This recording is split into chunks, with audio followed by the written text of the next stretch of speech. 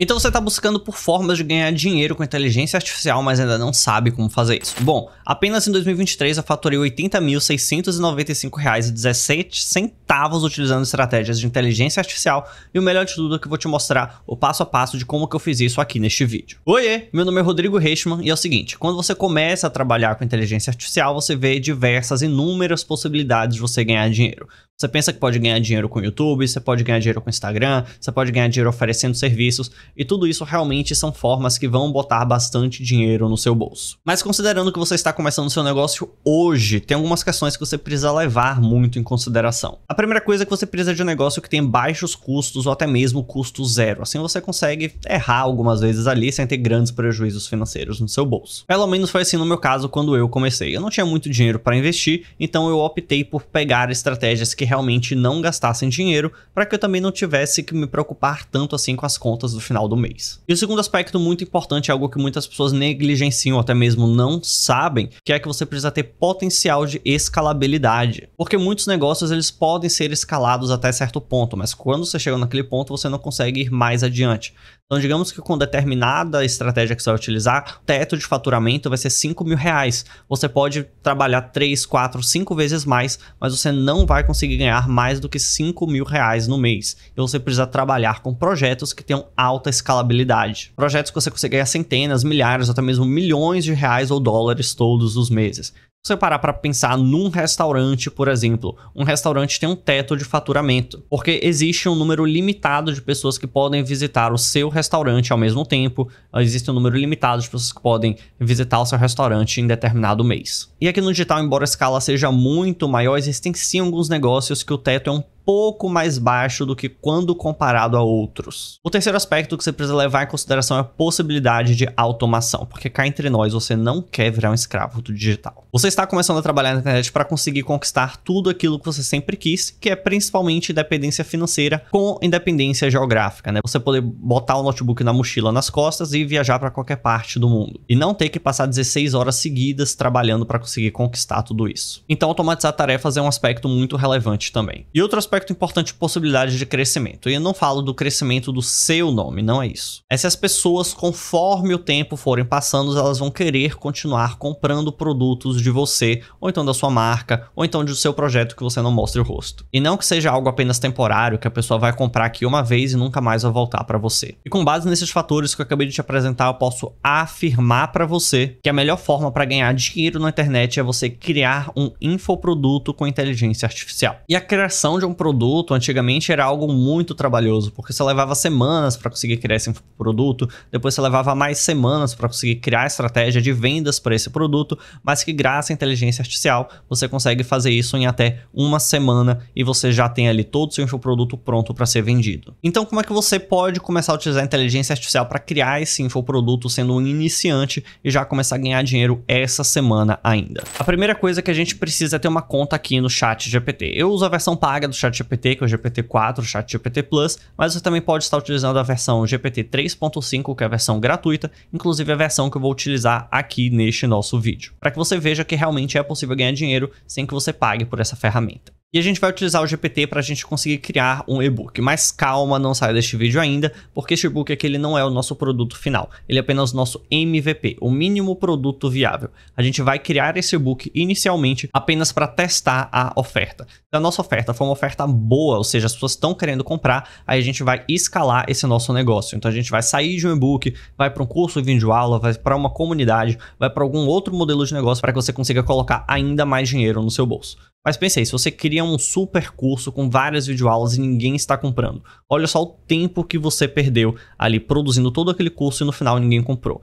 Enquanto que se você tivesse criado um e-book com aquela mesma oferta e você tivesse testado já se as pessoas estão comprando ou não, você teria ganhado muito mais tempo e assim já teria testado a oferta sem gasto todo o tempo e energia criando um curso e vídeo aula. E ao invés de fazer como a maioria das pessoas chegam, que pega aqui no chat GPT e pede, ah, crie para mim um e-book sobre determinada coisa, a gente não vai trabalhar assim porque essa forma amadora. Nós vamos trabalhar com um workflow. E o workflow são uma sequência de prompts que a gente vai utilizar. Sendo que o primeiro prompt é o seguinte: Como renomado especialista em ofertas diretas, forneça 10 ideias de nicho para criar um infoproduto no estilo de e-book para que eu possa criar e vender no Brasil e por quê. Inclua as 10 ideias de forma que se encontrem em algum destes grandes nichos. Riqueza, saudável ou relacionamentos. E simplesmente dou um enter aqui. Então o ChatGPT já está trazendo aqui para gente as nossas opções. Ele deu aqui 3 de riqueza, 3 de saúde, 4 de relacionamento, que são nichos que ele considera serem muito bons para trabalhar. Vamos ler aqui um pouco de cada um então. O de riqueza: investimento em criptomoedas para iniciantes, finanças pessoais para estudantes universitários, como criar uma loja online de sucesso. No nicho de saúde, nutrição para veganos iniciantes, treinamento em casa para perda de peso e guia de yoga para alívio de estresse.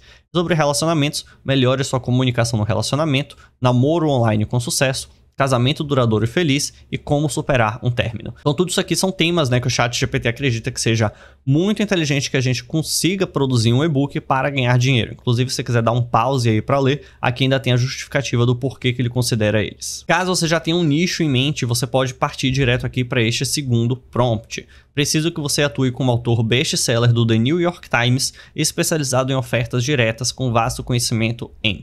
Nesse caso do vasto conhecimento em, que é que a gente vai colocar um nicho, se você já tiver o seu nicho em mente, você vai colocar aqui. Caso você não tenha, você pode pegar um aqui desses aqui que ele forneceu anteriormente. Então vou botar esse aqui, finanças pessoais para estudantes universitários, foi um nicho que eu achei interessante e vou colar aqui.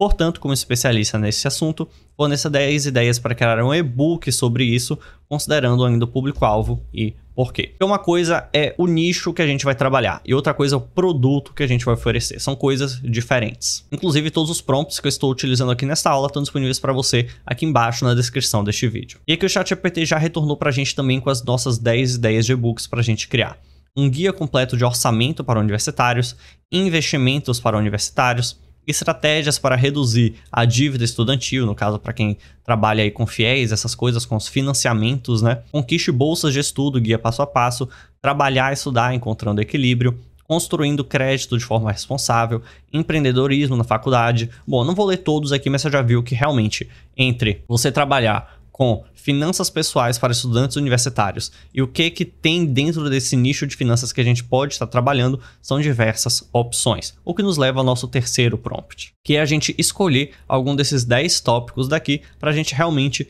criar o nosso infoproduto. Eu gostei bastante aqui desse empreendedorismo na faculdade, transformando ideias em negócios. Então simplesmente vou dar um Ctrl C, vou vir aqui em tópico e vou substituir dando um Ctrl V. Crie um outline com 15 capítulos para que possamos produzir este e-book, levando em conta o meu público-alvo e o mercado. Então, ele já vai começar a produzir aqui, né? Capítulo 1 da introdução, capítulo 2 de como que você faz para identificar as oportunidades de negócio na faculdade, capítulo 3 que é como você faz para desenvolver uma ideia de negócio, capítulo 4 como elaborar um plano de negócio simplificado, você vê que realmente é um guia, né? Um livro, um e-book passo a passo dizendo o que como faz para você sair do zero e você realmente começar essa vida de empreendedorismo dentro da faculdade. E para construir esse nosso e-book de fato, nós vamos aqui ao nosso último prompt desse workflow, embora não seja ainda o final do tutorial, porque tem mais coisas, afinal de contas a gente precisa criar o e-book mesmo, né? Nós vamos para este prompt daqui. Forneça o capítulo tal, então nesse caso daqui com o e-book eu vou pegar aqui o capítulo número 1, né? Vou pegar aqui, dar um Ctrl C Ctrl V, um copiar e colar. Por favor, escreva em primeira pessoa, utilizando uma linguagem simples, com coesão e coerência.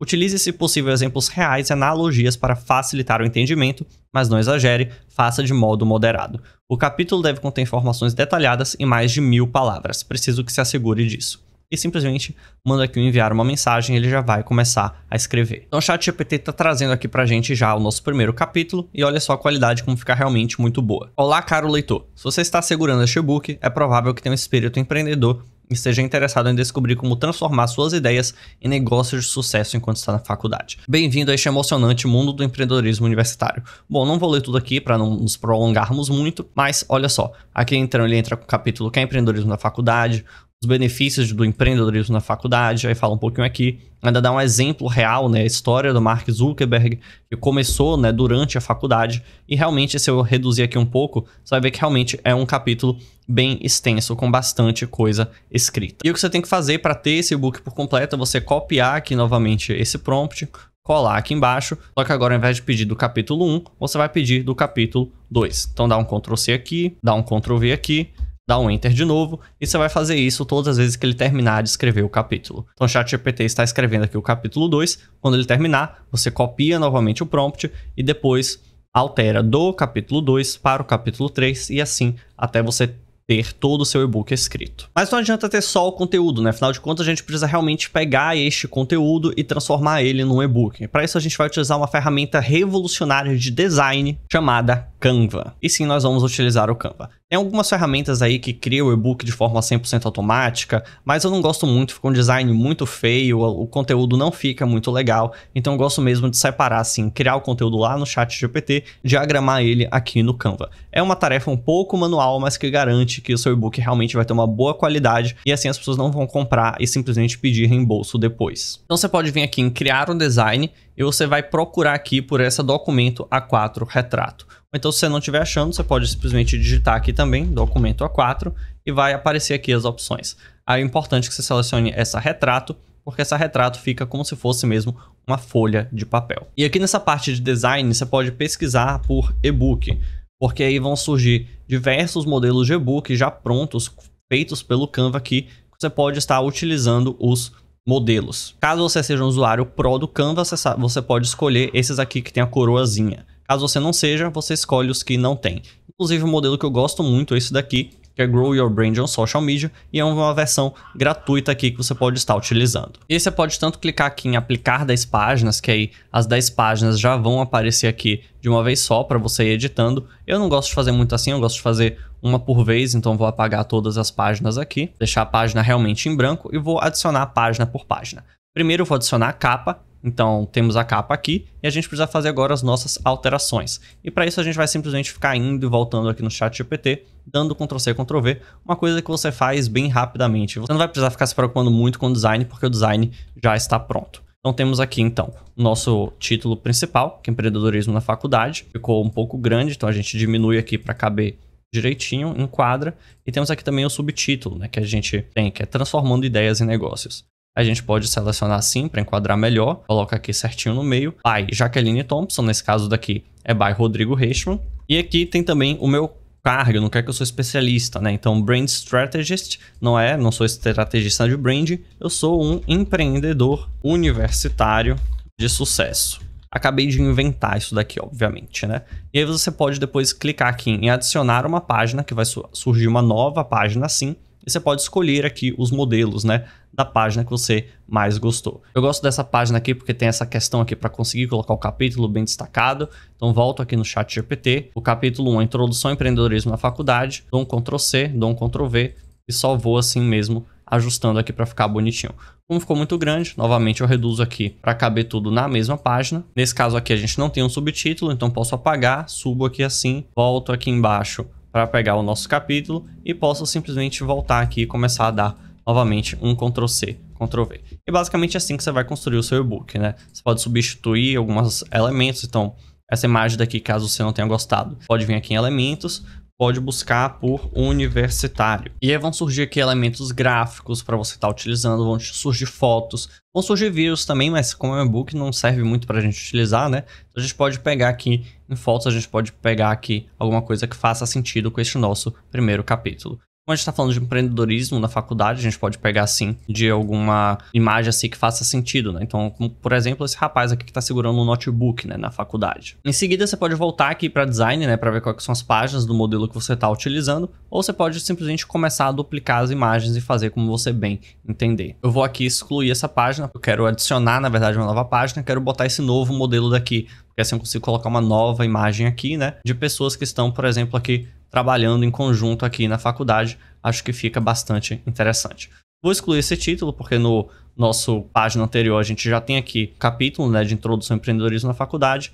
Volto aqui no Canva novamente e vou copiar aqui também essa segunda parte. Então dou um Ctrl C, um Ctrl V aqui, dou um Enter para ficar certinho, dou outro Enter aqui, ajusto assim. Essa parte aqui que lá estava em negrito, eu posso clicar aqui também para ficar negrito, para ficar mais destacado. E você vai fazendo isso até ter todo o seu e-book aqui completo produzido. Outra opção que você também pode estar utilizando é você pegar estes capítulos daqui e pedir para o chat GPT criar imagens para você estar utilizando. Como a gente está utilizando a versão 3.5 aqui, a gente não vai conseguir criar essas imagens, porque uma condição apenas disponível na versão 4 do chat GPT. Mas a gente pode dar um Ctrl C, Ctrl V assim, vem aqui, cria um novo chat, vem para o GPT-4, pede assim, crie imagens para o outline em seguida. Crie imagens não, vou colocar assim, crie três imagens para cada capítulo do outline em seguida. Eu vou dar um enter assim para separar, vou colocar assim e vou dar um enter. E aí o chat GPT, no caso aqui o DALL 3, né, integrado ao chat GPT, vai começar a criar essas imagens com base no nosso outline, com base nos capítulos aqui que a gente está utilizando para criar este nosso e-book. E aí você pode tanto utilizar as imagens aqui que o Canva te forneceu, quanto as imagens aqui que o ChatGPT está criando. Então, como exemplo aqui, o ChatGPT criou essa imagem aqui para o capítulo 1.